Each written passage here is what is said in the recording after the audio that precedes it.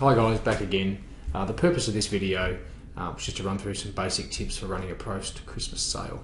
Um, now that Christmas is fast coming up, um, after Christmas Day, obviously Boxing Day to January the 1st is still a peak selling time for, uh, for merchandise.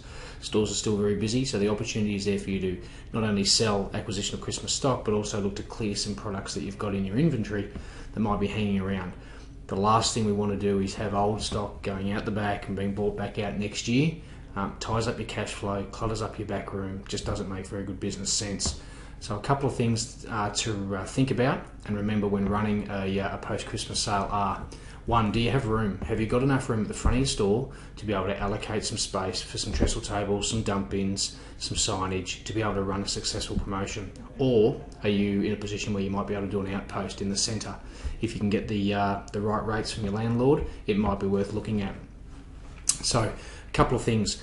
When it comes to merchandising, first of all, if you need some help, some tips on how to set it up, remember we've got Jennifer here who can help you over the phone or via email on some basic tips for visual merchandising. Okay, so first tip: create a power display either in the store or out in a uh, in a mall.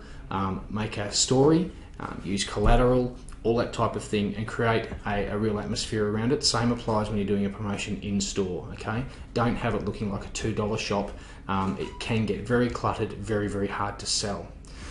Uh, be prepared to mark your product down to move. Okay, I've put together a number of in-store marketing collateral posters which you're going to see during this presentation.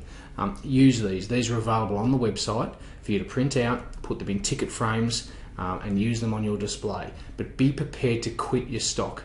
Um, you know, 5 and 10%, not really what we're looking at doing. It'll cost you more to have it sitting in the back room.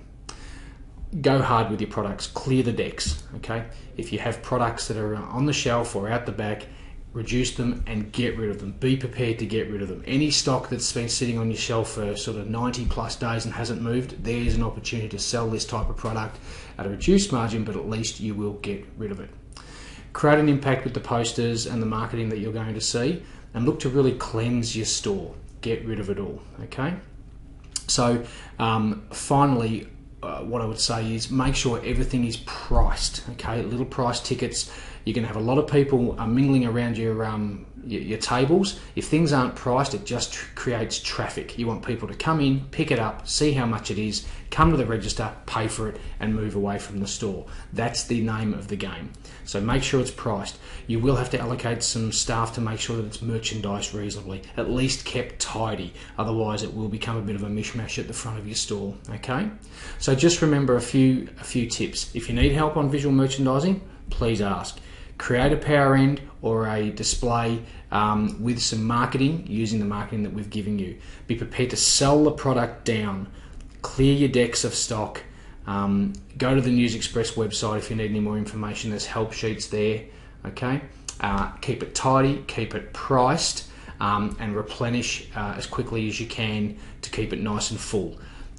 December 26th to January 1st, realistically, you've got five or six days to get your decks cleared. Uh, then you move into back to school. So, if you need any more information, we've got the new help website, uh, help email address, sorry, help at newsxpress.com. Um, flick us through an email. We'll be happy to give you some uh, some more information. Otherwise, try those basic tips. Keep it simple, and good luck with your post Christmas sale.